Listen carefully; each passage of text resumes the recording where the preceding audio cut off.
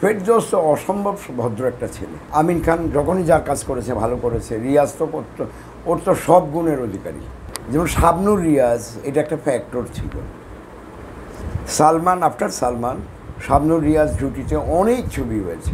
টাইমিংয়ে আইসা এটা শাবনুর করেছে, এটা সাকিব করেছে, ওরা টাইমিং নয় টাইম ওয়েস্টেজ করেছে। অনেক টাইম ওয়েস্টেজ করেছে। যে টাইমগুলো ওয়েস্টেজ না হলে প্রোডাক্টগুলো আরও ভালো হইতো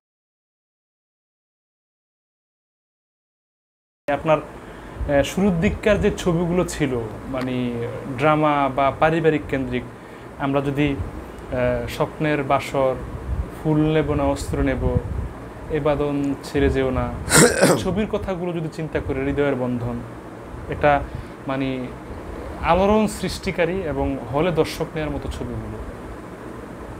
রিয়াজ ভাই আমিন খান ভাই তারপরে ভাই তাদের একটা মানে কন্ট্রিবিউশন ছিল মানে এবং তা আপনার হাত ধরে।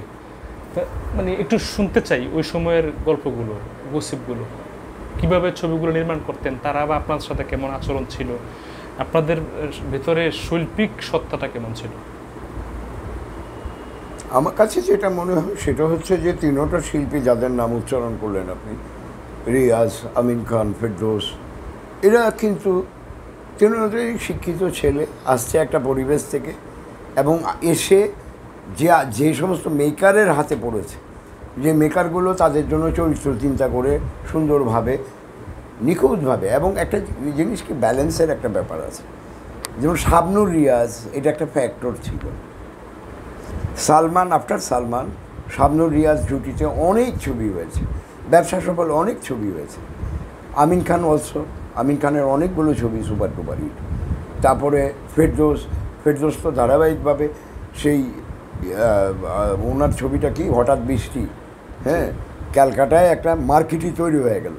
ওর অন্য ওর একটা মার্কেট তৈরি হলো। অনেক বছর সে পশ্চিমবঙ্গে কাজ করেছে। তো গুণ না থাকলে পশ্চিমবঙ্গের মতো জায়গায় ওখানে নিখুঁতভাবে কাজ করায়? ওখানে এত বছর কাজ করে কি করে? তারপর আমাদের সাথেও কাজ করেছে, বিভিন্ন সময় কাজ করেছে। তো আমার কথা হচ্ছে ওদের নিজস্ব কোয়ালিটি নিয়ে তারা কাজ করত এবং ওরা ভালো কাজ করত। এবং ওদের সাথে কাজ করে একটা জিনিস মনে হয়েছিল যে আমাদের একটা সুন্দর একটা পরিবেশে আমরা আসলাম, কাজ করতে আসলাম, ওরা মেকআপ করে, ক্যামেরার সামনে আসে পারফরমেন্স নিয়ে কথা হয়, মনোযোগ দিয়ে শুনে, তারপরে যখন আমার যে নোটগুলো কারেকশন করে করে আমি শর্ট নেই, সেই শর্টগুলো তারা পারফেকশন করার চেষ্টা আচ্ছা এমনিতে এখন যে আমরা যে রিউমারটা দেখি যে বাজেট নিয়ে সম্মান নিয়ে আবার শিডিউল ফাঁকি নিয়ে শিডিউল ফাঁসানো নিয়ে বা ছবিটাকে মেরে দেওয়া নিয়ে আমরা অনেক কথা শুনি একমাত্র শিল্পী এবং মানে নায়ক নায়িকাদের ক্ষেত্রে। আমি যে নায়কদের কথা বললাম আমিন খান ভাই রিয়াজ ভাই ফেরদৌস ভাই শাকিল খান ভাই তাদের ব্যাপারটা আসলে কেমন ছিল? না এরা কখনোই কোনো ছবিতে ভোগায় নেই। টোটালি কিন্তু কাজ করে গেছে। এই জায়গা থেকে আমি কখনো, কোনো কমপ্লেন আমি করতে পারব না। কারণ আমিন খান যখনই যার কাজ করেছে, ভালো করেছে, রিয়াজ তো ওর তো সব গুণের অধিকারী।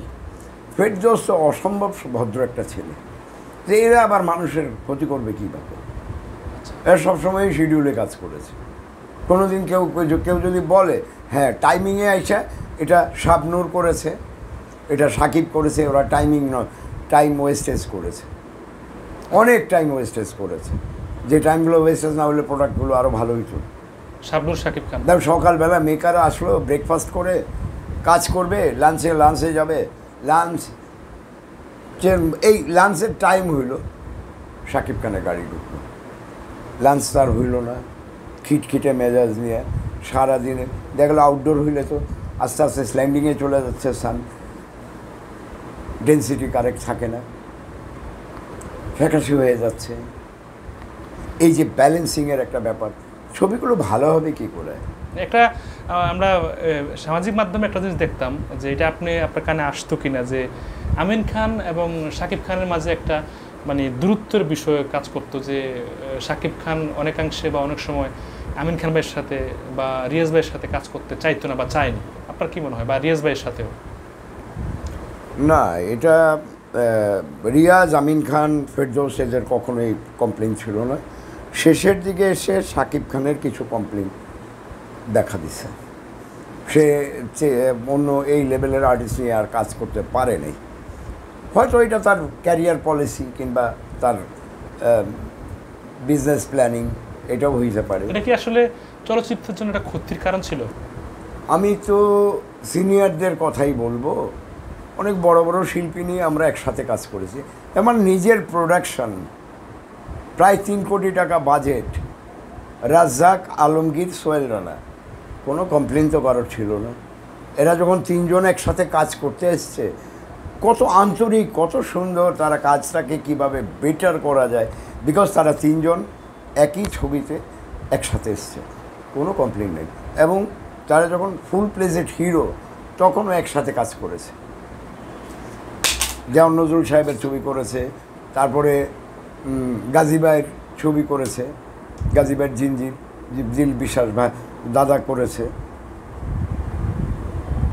দিল আচ্ছা। বিশ্বাস আচ্ছা। কাজ করেছে। হ্যাঁ হ্যাঁ তো আমার কথা হচ্ছে এরা যার এগুলো যেগুলো এগুলোর মধ্যে চাইল্ডিস্ট ওই যে যে প্রশ্নটা আসছে আভিজাত্য আভিজাত্য একটা ফ্যাক্টর